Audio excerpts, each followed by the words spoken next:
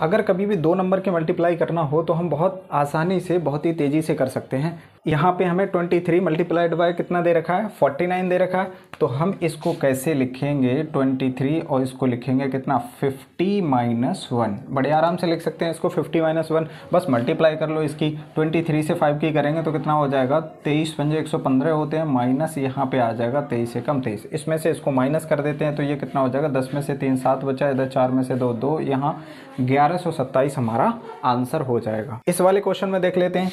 Thirty three और इसको क्या लिख सकते हैं? हंड्रेड माइनस वन लिख सकते हैं। नाइन्टी नाइन को हंड्रेड माइनस वन यहाँ पे अपने दिमाग का यूज़ करना है।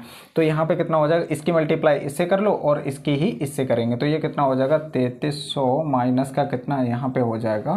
तैतीस इसको इसमें से माइनस कर लो। तो ये हो जाएगा दस में से तीन गया सात बचेगा। इधर नौ में से तीन गया छः बचेगा। इधर यहाँ पे हो जाएगा थर्टी टू तो ये हमारा आंसर हो जाएगा। इसको देख लेते हैं fifty two multiplied by thirty तो इसको कैसे लिख सकते हैं? इसको लिखने का एक और तरीका ये भी हो सकता है थर्टी प्लस फाइव लिख लो इसको।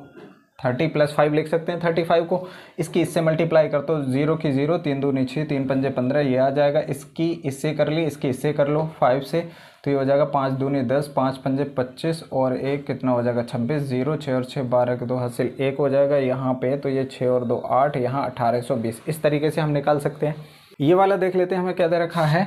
98 मल्टीप्लाइड बाय 810 दे रखा है तो इसको हम ऐसे लिख सकते हैं 800 प्लस 10 लिख सकते हैं बहुत आसानी से। ठीक है, इसकी इससे मल्टीप्लाई कर दो तो ये क्या हो जाएगा, आठ अट्ठे चौंसठ हो जाएगा छः बचा, आठ नेम बहत्तर छः कितना हो जाएगा, अठहत्तर।